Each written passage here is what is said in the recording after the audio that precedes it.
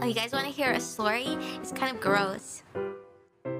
Um, when I was like two years old, I was uh, in an ice cream shop um, with my mom, and we we we were going to get ice cream, and I got my ice cream, and as I was licking the ice cream cone, um, um, I was walking and the the floor was slippery and I slipped and I fell and they didn't have they didn't have a sign that said floor slippery because they had just mopped and I was licking the ice cream cone and I fell and Bit my tongue and um, my mom and the doctor said that it, uh, well my mom said the doctor said that the tongue was like my tongue was hanging off by like two threads yeah and so I have this big scar in the middle of my tongue when uh, I bit my tongue off when I was two years old.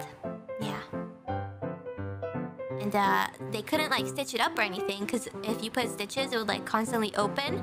So they just, they just, I guess they just left it there and they just let it heal. Actually, um, I have this other scar. Yeah, I have this other scar.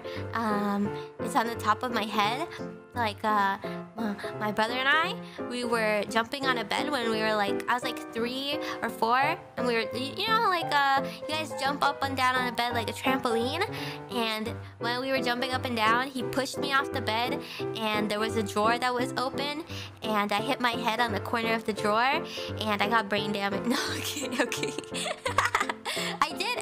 Don't think I had any brain damage, uh, probably, but I had this huge scar on the top of my head, and sometimes um, when I breathe, I, it feels like there's air going through it, like. Yeah, yeah. It feels like uh, it feels like there's air going through it at the top. It's really weird.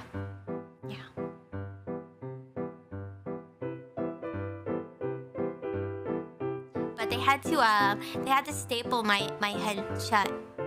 Mm -hmm. But I'm okay now, right? I turned out I turned out good. Actually, I cut the top of my thumb off.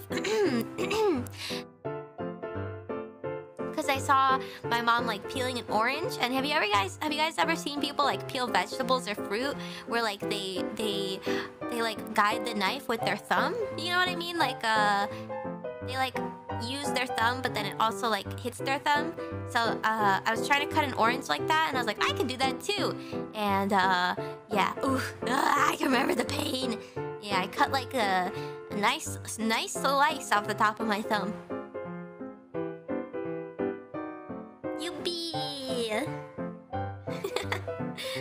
Lot of I have a lot of stories where I got hurt when I was younger.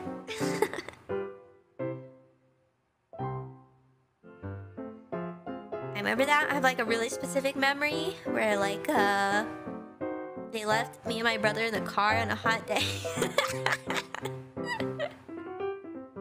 and we had crayons and the crayons melted and um, we like smeared them all over the roof of the car. it's like one of those old well i guess i guess more cars um these days also have like the carpet not like carpet but you know like fuzzy roof. And there were there were crayon stains in the in the roof for as long as we had that car.